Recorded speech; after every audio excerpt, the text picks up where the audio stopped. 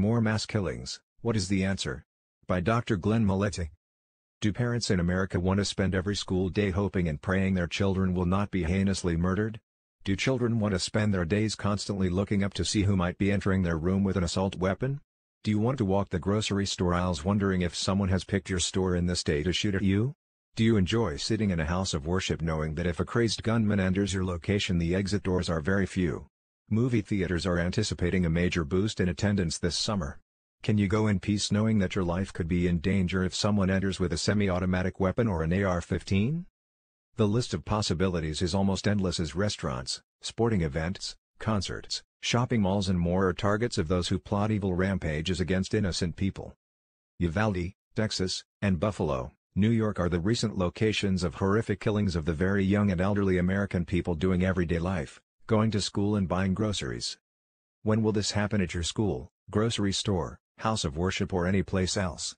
At one time, Americans never imagined such horrors as many of us have lived to see. One mass shooting has led to another and another. Your school or church or whatever the event is must plan for an attack every time you gather. If we do not try to protect the people at such events and gatherings, then we are throwing caution to the wind and subjecting people we love to the possibilities of being killed. What is the answer? The Buffalo grocery had an armed guard. This was not enough for a gunman who had strategized and outgunned the security guard who gave his life trying to save others. One major problem is such an evil person has the element of surprise. They have surveyed the location. Innocent people are caught off guard. People may even be carrying weapons but might not even have the time to draw their weapon because the rapid fire of the attacker's weapon takes that person's life before he or she can reach for their weapon. What is the answer? Do we equip every teacher in America with a semi-automatic weapon? Should teachers and grocery store shoppers and ministers carry assault weapons at all times? Do you want to put on your Sunday dress and then strap on your assault rifle so you might have a chance of defending yourself? State and federal lawmakers continue to wrestle with what to do. One suggestion is to take away all the guns. This might be okay until Russia or China invades us and we all have to fight. The local villain may find a way to order all the parts he needs online to assemble an assault weapon and you have no way to defend yourself. This possibility must be made illegal. Evil finds a way to release hate and fulfill deranged fantasies. This does not mean we give up.